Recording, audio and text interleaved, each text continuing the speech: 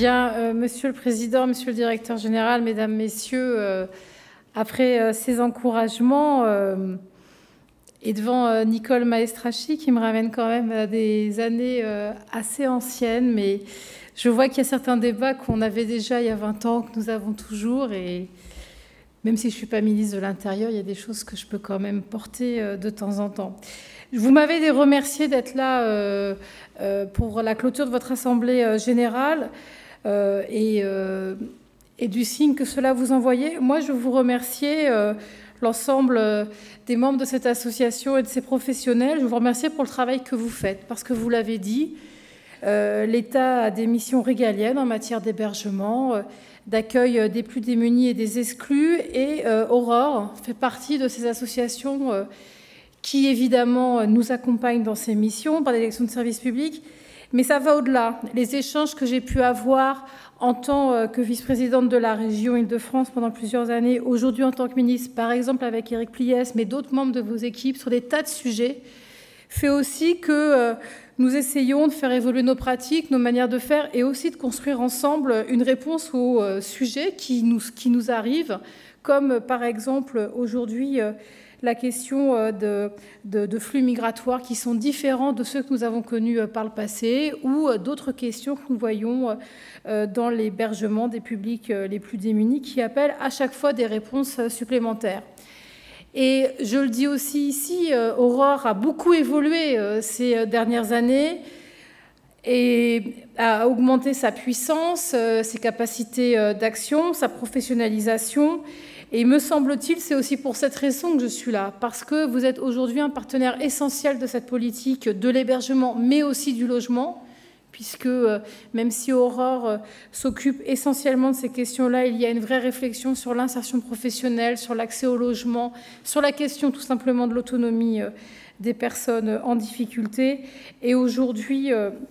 c'est pour nous extrêmement important de savoir que nous pouvons compter sur vous. C'est aussi important parce que euh, cette année, nous avons connu un, contexte national, international extrêmement difficile. Une année 2015, vous le savez, euh, qui s'est terminée qui a commencé qui s'est terminée avec des événements extrêmement euh, douloureux, avec des attentats ciblés et des meurtres de masse en plein Paris qui sont aussi euh, des, événements très lourds, qui ont des impacts sur notre société et qui pèsent évidemment sur la question de la cohérence de notre société. Les menaces de dislocation de la société et donc de la solidarité ne sont pas simplement un fantasme, c'est au cœur du débat euh, d'aujourd'hui. Et nous savons que quand nous agissons euh, sur les questions de l'exclusion, de la pauvreté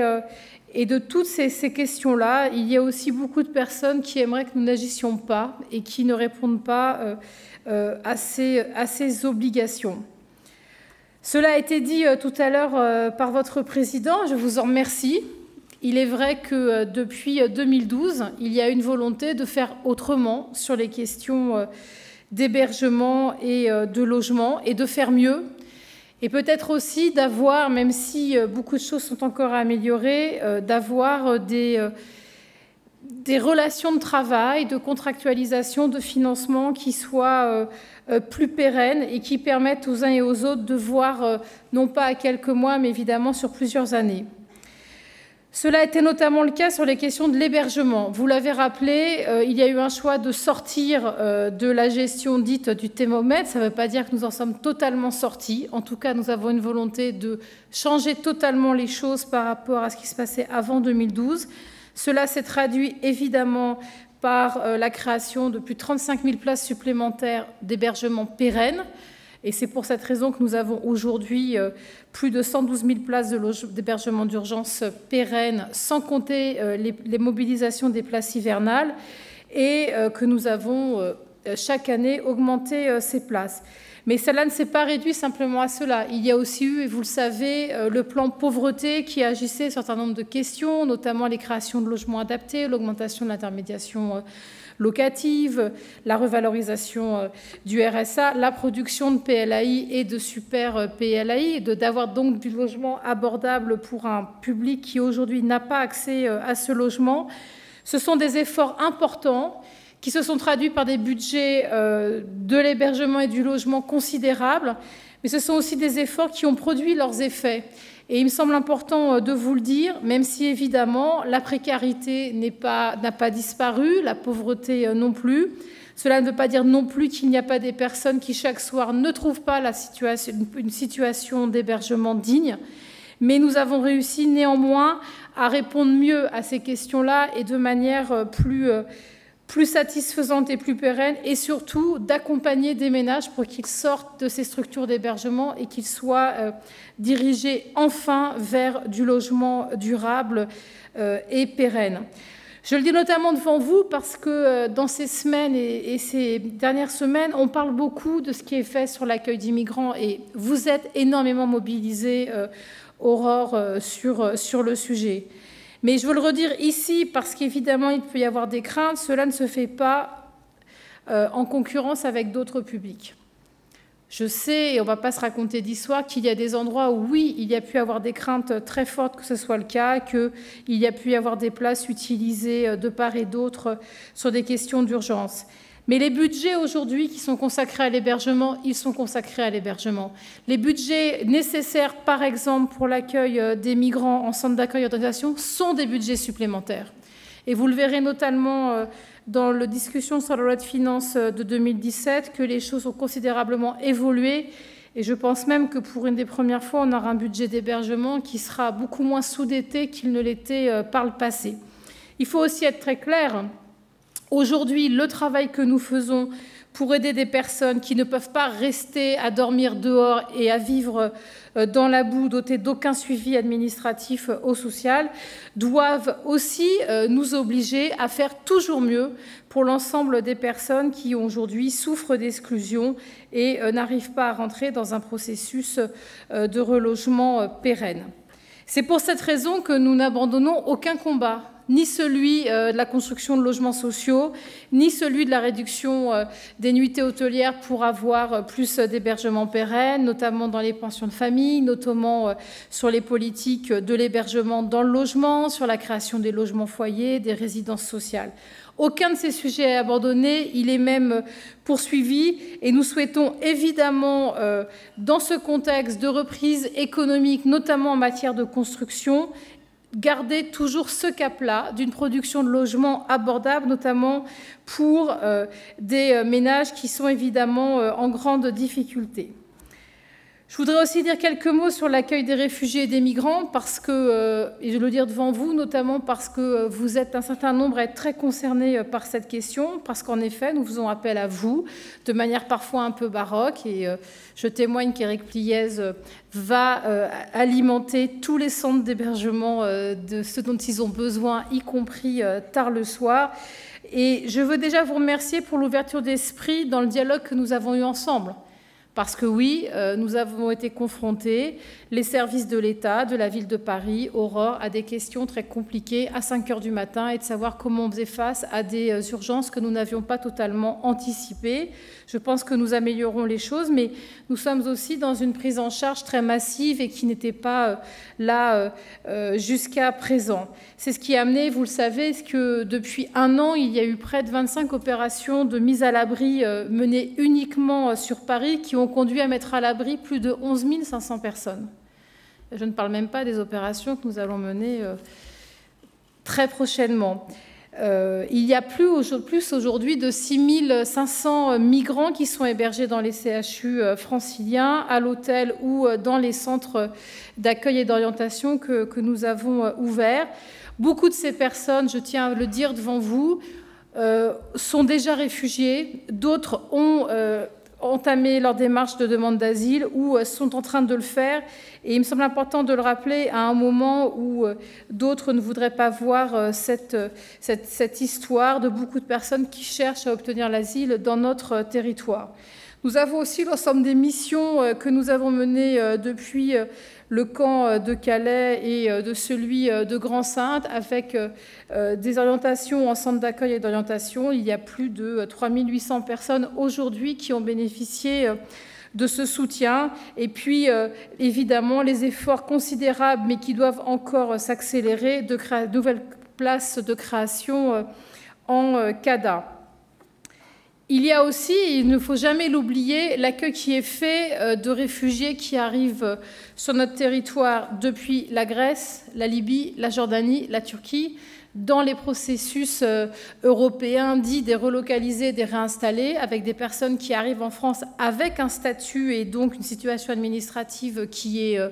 euh, calée. C'est aujourd'hui par mois à peu près 900 personnes qui arrivent avec des situations, y compris médicales, extrêmement difficiles et sur lesquelles nous mobilisons également des structures d'accueil. Et nous cherchons, nous sommes en train de chercher énormément de logements pour accueillir euh, ces familles. Et je ne vous cache pas que le plus difficile n'est pas de trouver les logements, mais de trouver les, d'avoir les accords des élus pour nous aider à les accompagner euh, dans leur arrivée euh, sur l'ensemble des territoires. Je veux aussi dire, tout à l'heure, vous parliez de la communication pour Aurore. Je ne sais pas si Aurore a besoin de travail de communication. Ce qui est certain, c'est qu'Aurore a su être présent, y compris sur des ambitions de territoire pour défendre des projets euh, qui ne plaisent pas à l'ensemble des habitants. Et euh, on en a certes beaucoup parlé avec ce, programme dans le 16e euh, sur lequel Eric m'avait fait visiter ce terrain du 16e arrondissement qui est intéressant. Mais je veux aussi vous remercier que dans ces moments de, très forte caricature et qui, vont revenir, il faut être très clair, euh, vous soyez là, présent dans vos convictions et que vous répondiez avec les services de l'État à ces obligations qui est de créer partout des centres d'hébergement sur l'ensemble des territoires et euh, de montrer aussi que la lutte contre les ghettos, elle passe évidemment par un travail euh, de construction et de services publics de l'hébergement sur l'ensemble des territoires, riches comme pauvres. Évidemment, euh, ma présence ici euh, me permet aussi de revenir sur votre travail, la qualité euh, de votre travail, la qualité de votre projet associatif et de quelle manière également vous vous adaptez, pas simplement à des situations de crise ou d'urgence, mais aussi à des évolutions. Vous avez parlé des contraintes budgétaires qui ne sont pas simplement celles de l'État, qui sont aussi celles d'un grand nombre de euh, collectivités. Mais je voudrais dire aussi comment euh, vous réfléchissez à améliorer euh, l'accueil et aussi à répondre à des questions telles que ce qu'a dit Eric tout à l'heure sur les questions de l'occupation des personnes hébergées sur la durée, l'accès à la culture, à l'apprentissage du français, les besoins que nous avons pour améliorer euh, le suivi euh, psy euh, de ces personnes, l'accès à plus de travailleurs médico-sociaux. Et de ce point de vue-là, je parle aussi, parce que Aurore a aussi travaillé sur la question avec votre association, des premières heures et de tous ces sujets-là. Ce sont des, dispositifs sur lesquels, évidemment, nous avons, nous, État, euh, euh, parfois besoin de vos innovations pour après, justement, porter ces dispositifs de manière plus globale et que cela puisse essaimer euh, sur l'ensemble des, territoires. Aurore est une, association ancienne qui, depuis longtemps, s'occupe des questions d'hébergement, qui aussi et je le dis, euh, étant une ancienne militante de la lutte contre le sida, n'oublie pas aussi ce qu'Aurore a fait dans des moments où pas grand monde s'occupait euh, de certains euh, publics. Aurore a aussi beaucoup travaillé sur la question du logement d'insertion et de l'insertion par le logement. Et me semble-t-il, il est très important de ne pas abandonner ce combat. D'où le fait que nous avons besoin, et c'est ce que j'essaie d'obtenir, y compris dans des discussions budgétaires, nous avons besoin, euh, au-delà des centres d'hébergement, de poursuivre la création des pensions de famille, des résidences sociales, des euh, places en intermédiation locative qui nous permettent justement de travailler à l'insertion euh, des ménages par le logement et de véritablement construire des parcours d'insertion qui sortent durablement ces personnes de la précarité. Mais on sait que ça demande du temps, on sait que c'est long, on sait que ces parcours sont très souvent euh, connaissent très souvent beaucoup euh, d'embûches, voire d'échecs, et qu'il faut souvent revenir dessus. Et je, je crois qu'il est quand même important de, de souligner que c'est cette croyance dans des possibilités d'insertion qui nous permettent évidemment, évidemment d'avancer avec l'ensemble des, des personnes que vous hébergez et que vous suivez évidemment. Et puis euh, vous dire, si jamais vous aviez un doute sur vos représentants, qu'ils sont euh, très actifs euh, dans l'ensemble des travaux que nous menons au ministère, avec, avec l'ensemble des services, sur le suivi des plans de réduction hôtelière, sur le suivi du plan pauvreté. Vous pouvez compter sur vos représentants, notamment Éric Pliès, pour rappeler au gouvernement ses engagements qu'il doit tenir, sur la manière dont il doit le faire, mais aussi comment est-ce qu'on peut aller chercher et convaincre localement des élus d'accueillir tel centre, tel préfet euh, de, permettre la création de telle pension de famille ou telle association de répondre évidemment aux dispositifs d'intermédiation euh, locative. Nous avons évidemment beaucoup, beaucoup de choses encore à faire et je ne vais pas vous dire devant vous que les choses sont euh, absolument formidables. Il y a encore beaucoup de personnes qui sont à la rue, qui souffrent euh, évidemment euh, de mal logement, mais nous avons euh, entrepris, me semble-t-il, une politique différente majeure qui nécessite un budget important, des associations pour la mener et aussi des objectifs sur lesquels nous aurons certainement les résultats que dans quelques années. Je pense évidemment à la réduction des nuitées hôtelières, qui est aussi véritablement un changement de politique, même si c'est très dur, parce que ça demande en fait à tout le monde de changer ses habitudes, et à l'État, et aux élus locaux, et aux associations. Ça exige aussi que l'on retravaille beaucoup mieux sur le suivi des personnes qui, sont, euh, qui vivent à l'hôtel. Et vous le savez que de ce point de vue-là, nous avons dû aussi évidemment améliorer fortement, euh, euh, ces, ces sujets. Je voulais aussi euh, vous dire que sur des questions plus particulières comme celle du handicap, le président de la République a souhaité que nous créions de nouveau 7500 places en pension de famille pour les personnes qui sont en situation de handicap, après un premier plan qui avait été euh, euh, tenu et qui a montré euh, l'efficacité pour l'accueil de l'ensemble de ces personnes qui ont besoin d'un soutien particulier, et je pense notamment à celles qui ont des troubles psychiques importants. Je voulais aussi redire un mot sur le programme Un chez soi d'abord, une expérimentation mise en œuvre en 2011 qui euh, aurait dû s'arrêter en avril 2016, malgré des euh, résultats euh, évidemment intéressants, et un programme qui finalement a vu ses 400 places pérennisées et une montée en charge à hauteur de 400 places par an jusqu'à 2020 qui est prévue. Je ne veux pas non plus oublier ce que vous faites sur des sujets comme évidemment l'accueil des jeunes en grande déshérence, mais aussi le travail que vous réalisez sur les femmes victimes de violences dans leur accueil, dans leur suivi, dans leur euh, réinsertion. Et euh, en tant qu'ancienne vice-présidente de la région Île-de-France, euh, qui avait développé une politique importante d'accès au logement pérenne pour ces femmes, je sais combien ce travail peut être difficile et en même temps extrêmement nécessaire et vital. Nos objectifs sont assez clairs, poursuivre cette politique, évidemment, en matière de construction de logements sociaux et les les euh, objectifs fixés pour 2016 en, matière de construction de logements sociaux sont extrêmement importants. Plus de 140 000 euh, avec les logements de l'ANRU compris, mais donc une production importante. Mobilisation évidemment euh, continue sur la création de places d'hébergement. Nous poursuivons le plan pauvreté qui a été lancé en 2013 et notamment avec la réduction des places hôtelières et puis, euh, je vous le dis aussi, une poursuite du travail qui est fait sur la création de centres d'accueil d'orientation pour accueillir plus durablement et encore plus euh, de personnes aujourd'hui euh, migrantes.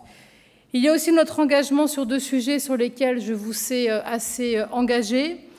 Évidemment, la question des aides au logement en cas de loyer impayé et la prévention des expulsions, parce que vous rencontrez beaucoup de personnes qui arrivent devant vous après des expulsions euh, locatives. Nous avons lancé un plan national de prévention des expulsions il y a maintenant euh, quelques mois. Et nous avons enfin pu publier euh, ce décret qui maintient les allocations logement pour les locataires de bonne foi, qui, je l'espère, va permettre à l'ensemble des services sociaux qui suivent ces ménages, évidemment, de travailler mieux au remboursement de leurs dettes avec le maintien, évidemment, des aides au logement et euh, j'espère que cela va évidemment euh, changer euh, la donne pour un certain nombre de ménages. Vous dire aussi que sur d'autres politiques, nous poursuivons notre engagement, celui évidemment de l'encadrement des loyers, qui est rentré euh, en vigueur euh, à Paris il y a un an, qui va être effectif à Lille à la fin de l'année. D'autres agglomérations nous ont sollicité euh, et pourront le mettre en œuvre une fois qu'elles ont réuni l'ensemble des données nécessaires à encadrer les loyers. Et je vous ne cache pas que être, j'ai été saisie de l'élargissement de l'encadrement des loyers parisiens à l'ensemble de l'agglomération parisienne et j'attends un avis du comité régional de l'habitat et de l'hébergement où certains d'entre vous siègent pour pouvoir rendre mon avis qui sera, vous le savez, évidemment euh, favorable.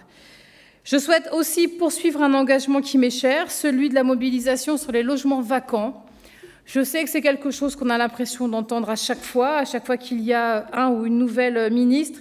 C'est pourtant une, une réalité tant en zone tendue qu'en zone détendue. Nous avons du logement vacant, vacant pour des raisons assez diverses, parce qu'il est parfois plus adapté à l'habitation, parce que parfois il est très dégradé, parce que tout simplement parfois il est détenu par des personnes qui ne veulent pas s'occuper euh, de leurs biens. Et nous devons absolument développer ces dispositifs de captation euh, du logement vacant pour avoir plus de logements abordables, notamment pour des ménages euh, modestes. Nous, sommes en train de travailler, a une refonte des dispositifs fiscaux euh, sur le sujet pour permettre de mobiliser plus de 50 000 logements du parc privé dans les mois qui viennent. Enfin, vous dire qu'actuellement, je défends un texte de loi, égalité et citoyenneté, qui a trait aux questions d'égalité euh, dans nos politiques publiques, et notamment avec des dispositions concernant la mixité sociale euh, dans l'habitat. Je n'anticipe pas sur les débats à l'Assemblée nationale, mais vous pouvez imaginer la teneur des débats, vu qu'il s'agit de parler du relogement, des publics prioritaires, euh, des DALO, de l'application de la loi SRU. Et c'est une belle occasion pour rappeler plusieurs choses. D'une part, la réalité des ghettos sociaux, y compris construits par des politiques de logement et d'aménagement euh, ces 30 dernières années, et dans lesquels nous voulons évidemment agir, notamment avec euh, la volonté maintenant imposée à toutes les intercommunalités de euh, consacrer une attribution sur quatre hors des quartiers politiques de la ville à des ménages du premier quartile et donc d'avoir un effort très clairement sur le logement des ménages qui ont les moins de revenus. Je ne vous cache pas qu'il y a beaucoup beaucoup, beaucoup de euh, euh, réfractaires à cette, euh, non pas idée, parce que tout le monde est d'accord, mais à cette mise en œuvre qui, de fait, interroge évidemment les politiques de peuplement du logement social. Je ne vous cache pas non plus que ce texte de loi, en renforçant les pouvoirs de l'État pour appliquer la loi SRU, en reprenant la main sur les contingents des maires pour loger les publics prioritaires quand ils ne le font pas, va aussi euh, euh, remettre en lumière euh, des sujets que vous connaissez très bien, qui sont ceux de certains territoires qui se sentent hors de l'application de la loi, et notamment de la loi SRU, et qu'ils pensent qu'ils ne doivent pas prendre leur charge dans le relogement des publics dits prioritaires. C'est en tout cas une belle occasion euh, pour moi de défendre à l'Assemblée et au Sénat euh, les questions de mixité sociale, mais aussi de partager euh, les infos que vous connaissez très bien sur la difficulté pour les ménages les plus pauvres de se loger dignement dans notre pays, pour la difficulté aussi de faire reloger les publics prioritaires, même si on doit aussi regarder les choses sous un angle positif. À l'occasion de cette loi, nous avons gardé euh, les impacts de la loi Dallot. Il faut quand même noter que depuis 2009, c'est 100 000 personnes reconnues prioritaires Dallot qui ont été relogées. Et c'est quelque chose d'important euh, à rappeler parce que ce droit au logement opposable, qui est souvent euh, autant décrié parce que ça serait un coup de fil, parce que ça serait trop long, parce que ça ne servirait pas à grand-chose, a permis de reloger, je le redis, 100 000 personnes, et notamment des personnes en grave situation euh, euh, de logement. Et évidemment, il faut que nous continuions, puisque nous en avons encore plus de 55 000 à reloger, et notamment, euh, je n'oublie pas, les plus de 20 000 à Paris et les plus de 40 000 pour l'ensemble de l'île de France, qui peut-être pose un autre sujet, qui est un sujet avant tout, me semble-t-il, régionale. Vous le voyez, euh, mesdames et messieurs, euh, chers amis, l'État, aux côtés de grands acteurs de l'hébergement euh, comme Aurore, est à l'action face à une crise, une crise émigratoire et une crise sociale importante. Cet engagement est pour nous essentiel aujourd'hui, avec, comme je vous l'ai dit, un engagement très fort sur l'hébergement, la réinsertion sociale, la mobilisation pour l'ensemble euh, de nos concitoyens et pour répondre à un défi euh, commun, euh, semble-t-il, assez simple et pourtant qui n'est pas encore totalement réalisé dans notre pays, c'est de donner évidemment un logement digne à toutes et à tous, d'inscrire la lutte contre la précarité et la pauvreté dans nos objectifs premiers, mais aussi de construire une société qui soit bienveillante, solidaire et accueillante, une société qui n'a pas peur ni de son avenir, ni euh, de son euh, voisin, et qui justement montre que l'on peut construire ensemble euh, une société sur laquelle nous pourrons évidemment construire l'avenir. Je vous remercie.